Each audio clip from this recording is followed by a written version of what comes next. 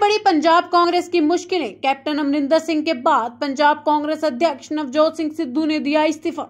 एक तरफ़ जहाँ पंजाब इलेक्शंस की तैयारियाँ बढ़ती जा रही है, वहीं दूसरी ओर पंजाब कांग्रेस की मुश्किलें कम होने का नाम नहीं ले रही। जी हाँ, एक तरफ़ जहाँ 18 सितंबर को कैप्टन अमरिंदर सिंह ने पंजाब कांग्रेस की कमान छोड़ दी। वहीं आज अचानक ही पंजाब कांग्रेस अध्यक्ष नवजोत सिंह सिद्धू ने भी अपना इस्तीफा हाईकमान को सौंप दिया है।